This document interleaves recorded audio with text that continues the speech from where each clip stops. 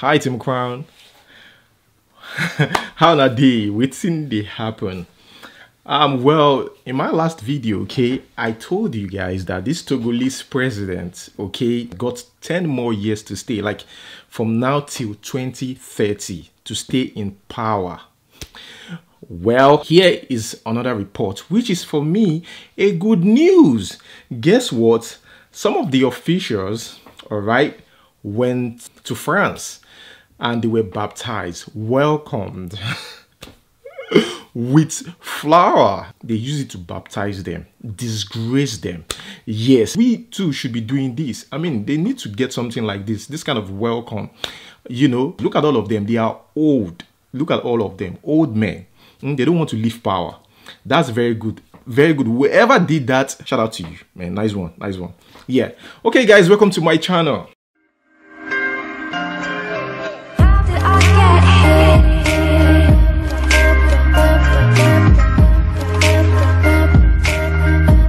I'm going to start off by talking about this guy, Chris Attoh. Now, it was reported a few days ago um, that the wife was shot dead. And uh, the report further explained that this guy, you know, shot multiple times and one of the bullets hit her. Well, she lost her life. After that time, we've been getting different kind of stories and reports. Um, the first one we got was that this lady, okay, is married not just to legally legally married not just to Chris Attoh she's also married to this drug kingpin now the difference between Chris Attoh and this kingpin is that this guy is a drug dealer. Chris Attoh is an actor. This guy is uh, also behind bars, okay, serving 20 years. Now, seems like Chris Attoh stepped on a toe. So, report had it that, you know, this guy must have been behind the death of this lady. Even from prison, he must have ordered a death. Now, even though it's pretty hard to believe, what about the news? Okay, about this lady's family getting multiple messages from the killer. Okay, they said they've been getting threats from the killer until the killer finally succeeded in killing her.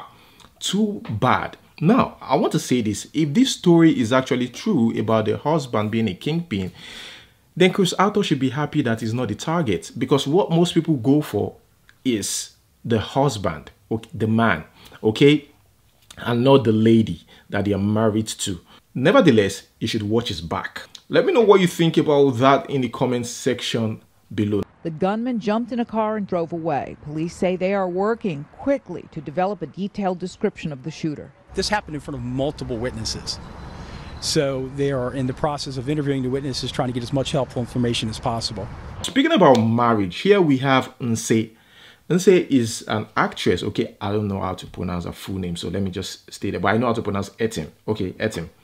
Now, this lady revealed shocking details of how she removed her womb and what, what led to that. First, even the news about her removing her womb is such a sad story.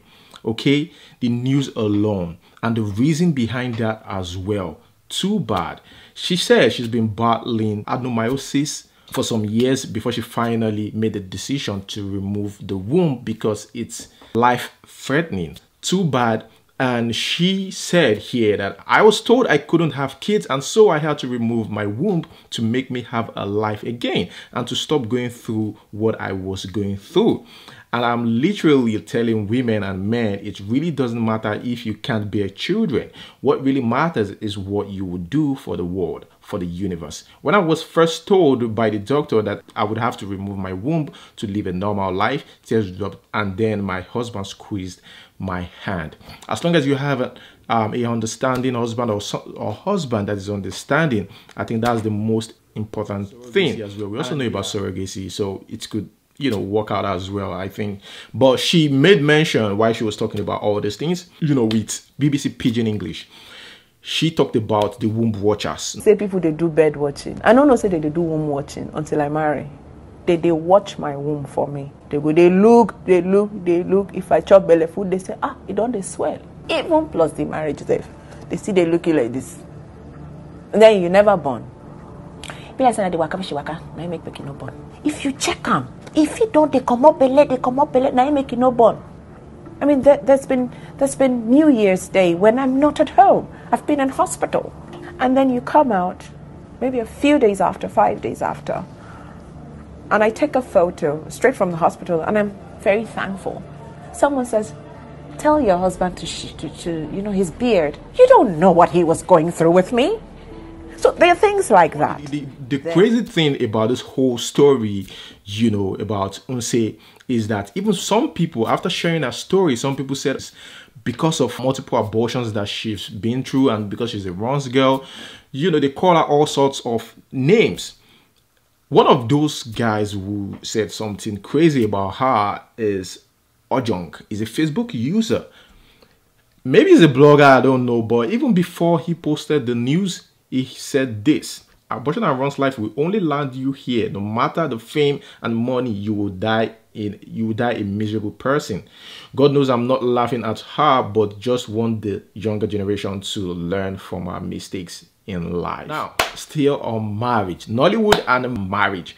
Here we have um Iyabo Ojo the yoruba actress the popular yoruba actress. She on mother's day she came out yeah sharing a story um, about what went down with him with herself and her ex-husband okay when they were still married and he- she revealed that the reason why this man married her was because she was pregnant for him okay because she was pregnant he decided to marry her she said this man said that to her on her wedding day or on their wedding day. How bad is that?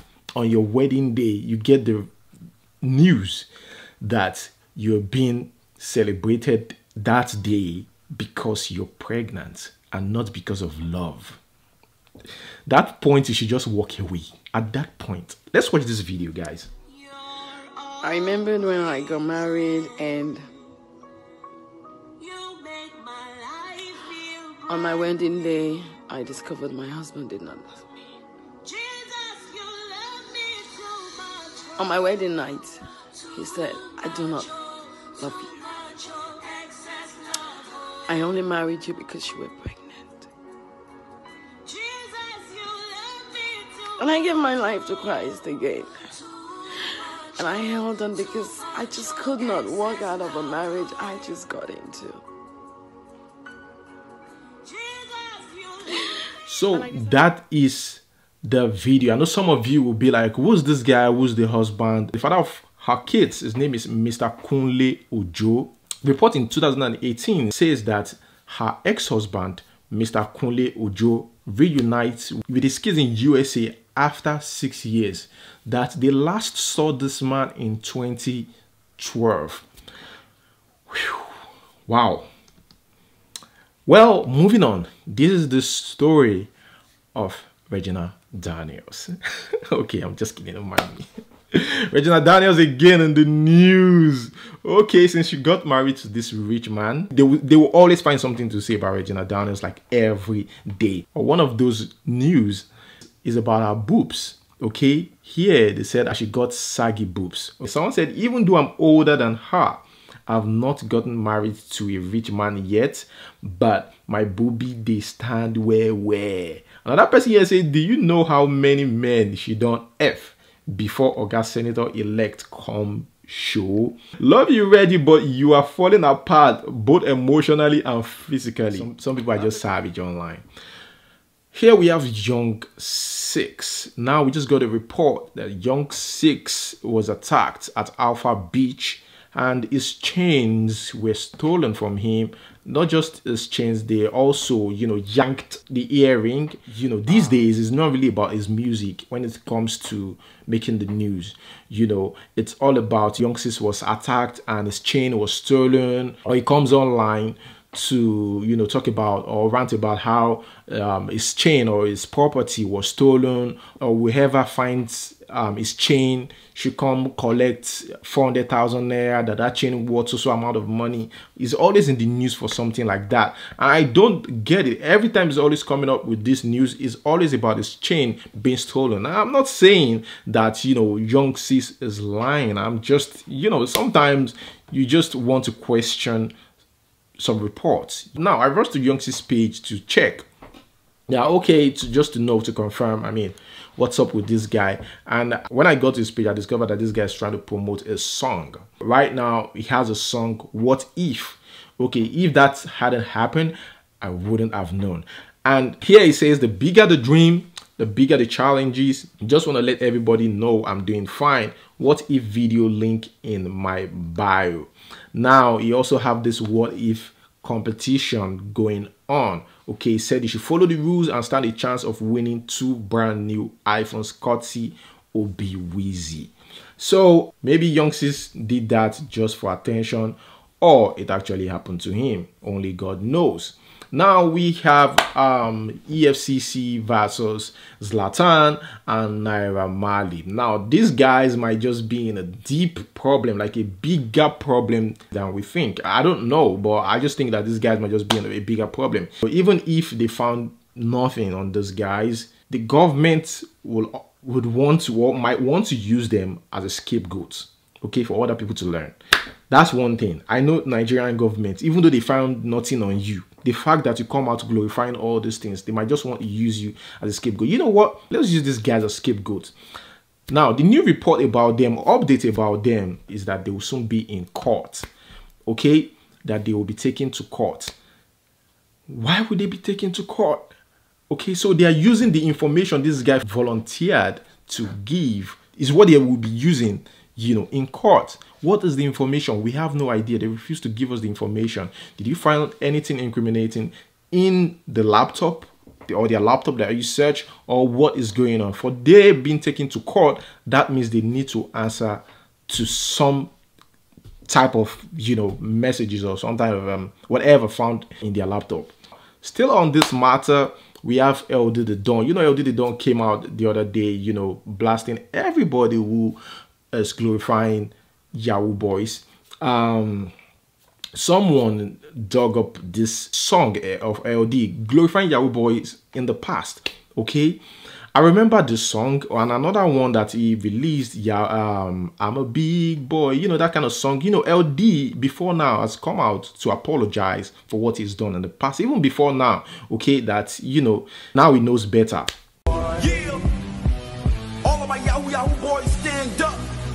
If you be Yahoo Yahoo boys, stand up right now. Yeah. I see you, baby. Lend me your ears quick. Got a story to tell about them real gangsters from the place that I dwell. I'm Nigerian, baby, king of the check scams, credit card, bank frauds, and your email spams. I don't fuck with the white, no. I don't fuck with the crack, no. I'm for that quick money, trying to dip with a stack. See, I don't hurt nobody, just need a bigger shack. You got insurance, right? Uh-huh. You get your money back. Hey, pull up in me see, uh-huh. if any moti wow, seeking a better land. Oh, let me bitty bow. I'm in a Maybach, uh-huh. I call it payback uh-huh. for all of the things you did to me from way back. Go on and snap your songs are they are very powerful. Okay, they could change a community. Music, okay, could change the way kids think. That's what a lot of people don't know. So what I think is get to a point in your life, you just want to get some things right. That is one thing. When you get to a point, uh, at a certain stage, you look back and you'll be like, man, I've done some stupid things and I just want to, you know, fix this. You know, I guess that's what is you know. But he also sang I- Me Aguyan, you know, which was about the poor governance in Nigeria. But nobody talked about that. Here we have Mr. Jollof. He has so much to say about Naira Marley being arrested and Nigerians and their hypocrisy. Let's watch this video. Now, I carry on a problem. Call now. Police the oppressed boys, police the oppressed boys, so Naira Mali and Zlatan wey God don dey butter their bread. Now na carry on a problem na ikpoko men come. Am I a yahoo boy? Una dey say, ah, retweet, am I a yahoo boy? They don hold am now. Una dey una comfort zone dey write free Naira Marley, free Zlatan. Now una dey write. So una no fit go EFCC office go protest make dem free am abi? And una push dem.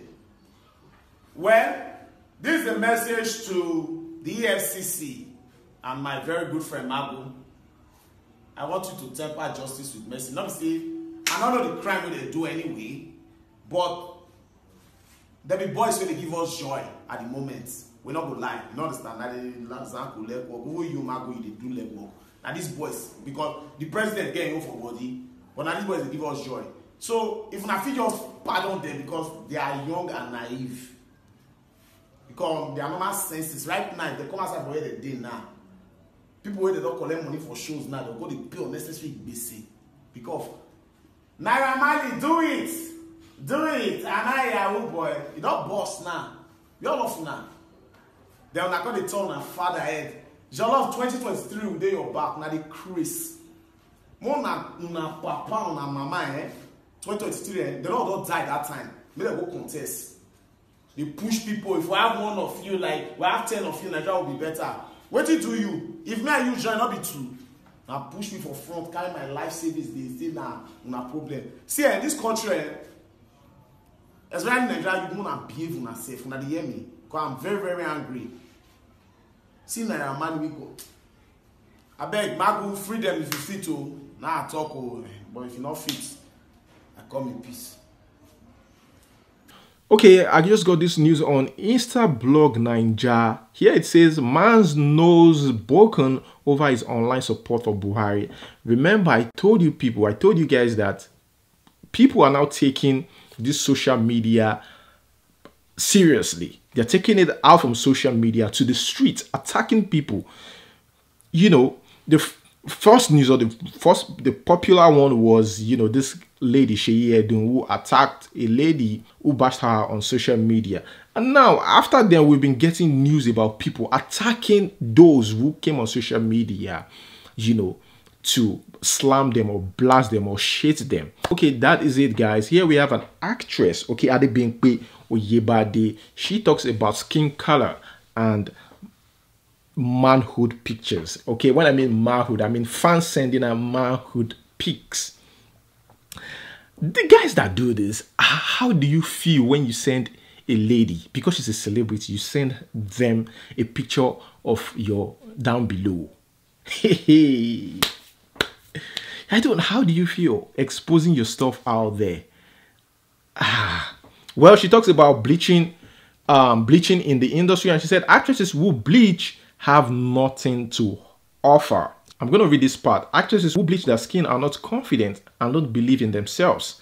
They also probably don't have anything to offer because if they do, they wouldn't go down that route. Dark skinned girls are doing well in the industry. I have never been discriminated against because of my complexion. Well, to each their own. I'm still in the industry, the entertainment industry. Here we have Chico Ejiro. Chico Ejiro is a popular producer. He reviewed why marriages in entertainment industry really, really works. Speaking about, you know, his relationship with his wife and why the uh, marriages in the entertainment industry really works. He said here, marriages in the entertainment industry really works, but our relationship has been able to thrive because we understand each other. We understand that in the entertainment business, one has to be patient and learn a lot. We have to communicate well, otherwise it wouldn't work. The ladies in the entertainment in, in the entertainment business believe they are the bosses, and if a woman is trying to be the boss of a man in a marriage, it wouldn't work. So he's trying to say here that the ladies in the entertainment industry try to be the boss in the marriage, and that is the reason why marriages don't work.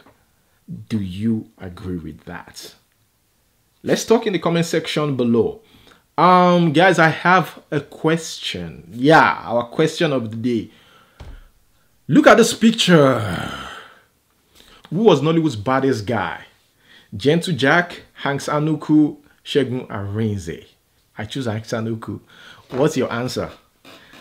Okay, um, here we have um report, okay, from Sahara Reporters that says Okay, let me read the the heading.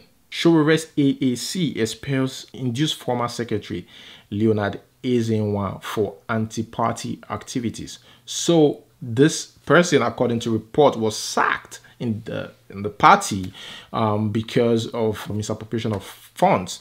Okay, that was why it was sacked, which means there's corruption. Okay, in AAC, you know, I mean, isn't it funny that a party that we believe is corruption free had to sack someone because they think it's corrupt? That means corruption is going on in there. That is not even the shocking thing. The shocking thing is that another report, okay, on Vanguard, now says Sahara Reporters notes Sowore owns Sahara Reporters, okay, the website. Now, another report on Vanguard has it that Sowore was the one who was sacked. Please don't confuse us. Oh. Let us know what they said. They said it was sacked because of the same reason, and they released a letter as well. Sowore as well released a letter on Sahara to, through Sahara reporters that this man was sacked by him, and Ezenwa is coming out to say, um, and the party is coming out to say that Sowore was sacked because they think it's corrupt. Okay. Eh, what is what is going on here? And they said Ezenwa, he's the one, he's the new chairman now. He's the new chairman. Ashowore is not the chairman. Please, you guys shouldn't scatter our head. oh. Please do not do not scatter our head. Now, my point is again, I'm gonna say this. My point is AAC, who we thought was corruption free, has now shown another side of them. You know, should we say Sowore's enemies are work or is corrupt? How can a party that promised to fight corruption be having an in-house fight or disagreement over corruption accusation? I mean, this is not from outside. This is within the house. I mean, this is a new party. What is going on with Nigeria? What's going on? I'm on the show. Sowore supporters. Now is your time to talk about this. Let's know what you think about this. All right, guys. Um, that's where I'm going to hold it. Thank you so much for watching. If you did enjoy this video, please like this video. And if you're watching me for the first time, don't forget to subscribe for more videos. Thank you once again. Until we see you next time. Peace.